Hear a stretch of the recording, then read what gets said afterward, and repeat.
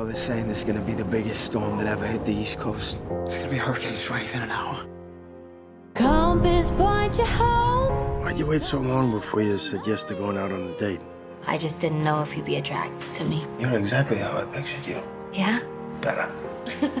If we make it out alive from the depths of the. What's this on the radio? Ship breaking up. She's a T2 tanker, split right in half. We got maybe two, three hours, and then we sink. I'm always curious about memorable moments from filming. Is there a day or two that you guys are always going to remember from the making of this? For me, it would probably be meeting. Uh, I had a really actor moment of coming off the boat. and It was very cold, and uh, and being really angry at our first AD because he hadn't given us a break in a long time. And then, right as I was about to get into it, I look over and I saw Andy Fitzgerald, who was one of the gentlemen who was on the boat. And Andy's 80 something years old, and he's there with Mel Gouthro, who's Bernie's best friend from who was sick and didn't go out that day, but knew Bernie and the rest of the team. And we got a chance to sit and talk with them, and um, it just became very clear that this actually happened. That these guys actually went out that night on a wooden boat in those seas, zero visibility, no compass, and they were, you know, they were inches away from death for hours. So um, it made me shut up very, very quickly.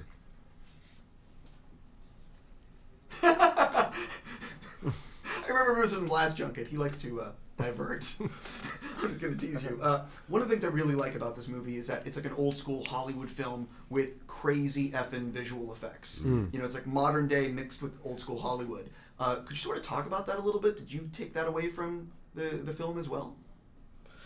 Yeah, it, I w- w- would agree. Uh, and Chris and I have spoken a bit about this. It, it, it- it hopefully is is um, the, the child of uh, of the 1950s. This is this is in the great American world of cinema.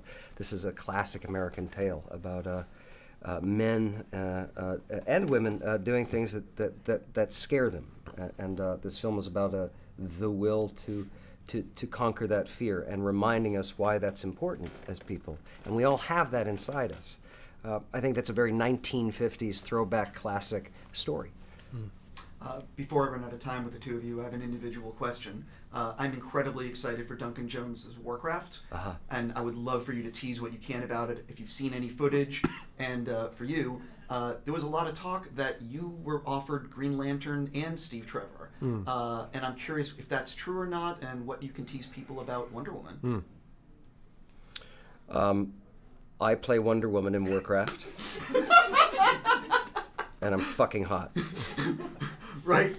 That's amazing. Yeah, I'm really excited. Looks great in a leather boot. Who'd have thought that? Yeah. Can't say much, but uh, I can't say much. But um, I always feel like I'm saying the same thing uh, when you guys ask questions. It's gonna be a great film. Gal Gadot's in, insanely talented and beautiful. Patty Jenkins is doing a great job.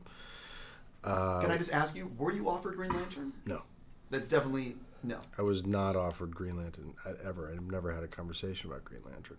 I'm Green Lantern in Wonder Woman. Um, I'm gonna. I really mean this. I gotta go. But congratulations on this movie. It's really well done. Oh, it thank really you is. so much. Pleasure. Hey guys, if you like this video, click the thumbs up button. Also, make sure you subscribe to our YouTube channel. It'll help you stay up to date with everything we've got going on here at Collider.